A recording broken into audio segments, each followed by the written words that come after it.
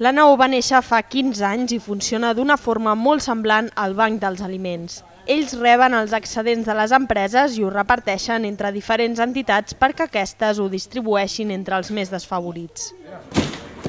Què més, Montse? En aquest sentit som pioners, vull dir que realment vam pensar que després dels aliments la segona cosa que era important per la gent amb problemes era tot el tema d'higiene personal i d'higiene de casa, que és un tema d'autoestima personal, vull dir, no és el mateix que et puguis dutxar que no et puguis dutxar, vull dir, no és el mateix, i que a l'hora d'anar a buscar feina, a l'hora de, de poder-se relacionar amb la resta de gent, tampoc és el mateix. Pues ja, sí, veuràs que estaran contents. Jo hago mercadillo.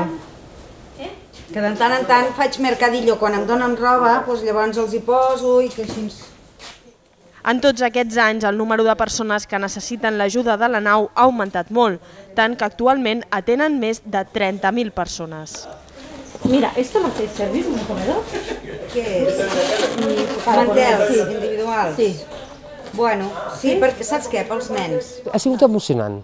Jo crec que la paraula exacta és emocionant, perquè la veritat és que som una entitat que vam néixer de res, vull dir, a poc a poc es va fent gran i estem contents de la tasca, de la tasca feta. L'alegria és compartida amb totes les entitats perquè gràcies a l'ajuda que els ofereix la nau, ells també poden donar un cop de mà als qui més ho necessiten. Quan la gent els hi demanes doncs, que et dongui eh, coses de menjar o això, tothom, tothom te n'ofereix, però eh, és una mica oblidat el tema de la neteja, o el tema de rentar la roba, o el tema de rentar els plats, o, i sobretot l'higiene personal de cadascú.